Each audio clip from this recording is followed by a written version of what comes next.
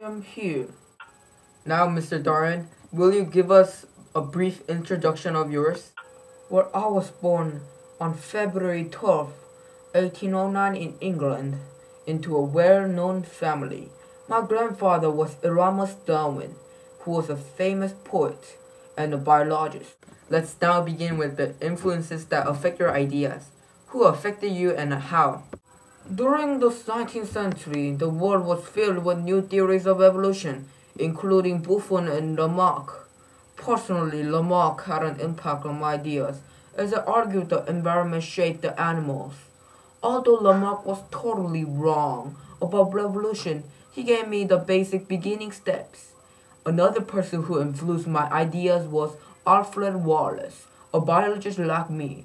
He worked on evolution just like me and wrote a scientific paper which had similar outlines as my book and even talked about natural selection.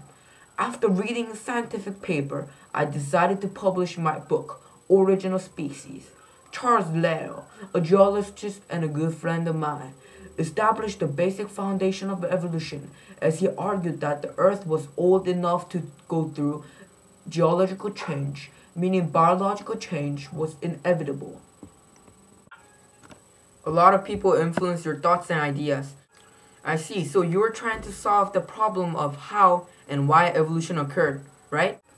Yes, but I was also trying to solve the misconception between the creation and evolution. During the 19th century, the idea of cre creationism, which argues that every living thing was created by God and was never changed, and the church was far dominant in the theory of evolution. In addition, I try to solve the whole cause, course, and effect of evolution.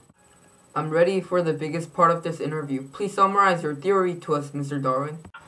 My pleasure. Let's first begin by going back a little. Charles Lyell's theory of geological change proved that Earth was old enough to go through biological change.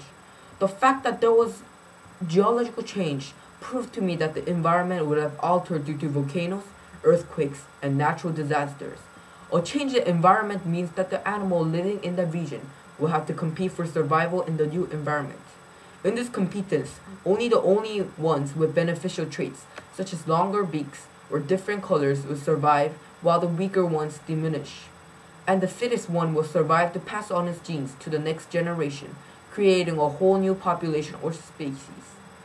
This idea of the same species competing each other for survival was totally new to Europe.